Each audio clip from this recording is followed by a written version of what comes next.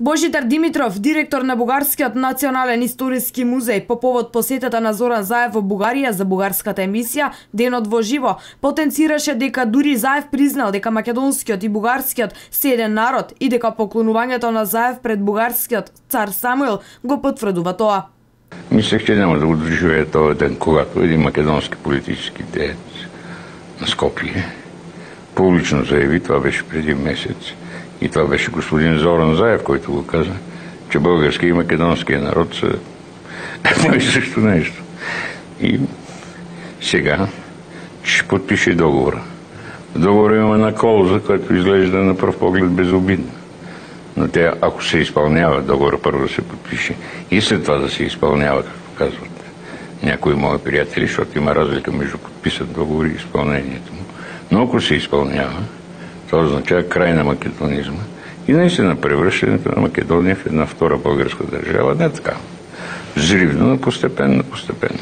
На новинарско прашање како ќе се гарантира дека учебниците по историја ќе бидат почитувани и ќе бидат напишани така како што треба, Димитров вели дека за да се исполни тоа, учениците во Македонија ќе мора да учат бугарска историја.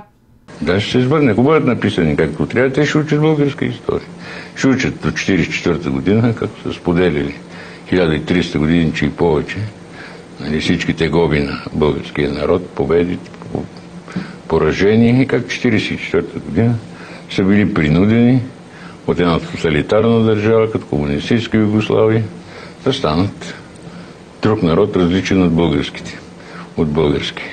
И че това е продължение колко си години – а след време ще учат. Но по време на управлението на премиер Борисов и премиер Зоран Заев беше достигнато на споразумение, което тури началото на процес, който Откако вчера премиерот Зоран Заев се поклони пред споменикот на цар Самуил во Софија и најави дека на 2 август Борисов ќе дојде на Мечкин камен заедно да го чествуваат празникот, премиерот Зоран Заев обелодени дека ќе се менуваат и учебниците по историја. Добро, една од отворените теми во Бугари, во Македонија е дел од прашањето за несоодветна употреба на зборови во учебниците и во одредени други материјали, кои што се официјално државни материјали.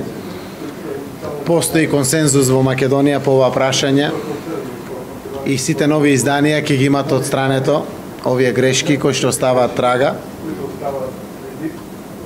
во најблага форма кажано на непријатност, која што не е во функција на она за што се залагаме сите. Премиерите на владите на Република Македонија и Република Бугарија покрај тоа што треба да ги имаат во предвид сите аспекти, тие мора да бидат и лидери. Лидерски отвореноста да се потврди дека споделуваме заедничко минато заедно. Лидерскија да потврдиме дека историјата треба да не сплотува, издружува, наместо да не разделува.